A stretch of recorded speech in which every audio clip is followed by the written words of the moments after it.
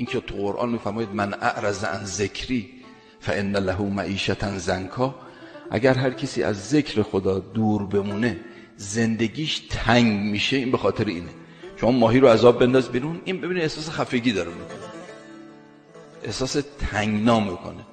حالا ولو اینکه این ماهی رو بنداز تو تنگ طلا. وقتی آب نباشه اون تنگ طلا چه به دردش بخوره؟ آدم اگر تو رفاه کامل باشه ولی خدا را نداشته باشه احساس راحتی می‌کنه. نه. چرا تو بعضی از کشورهایی که شاید یک فقیر توش پیدا نشه سوئد 8 9 میلیون نفر بیشتر جمعیت نداره.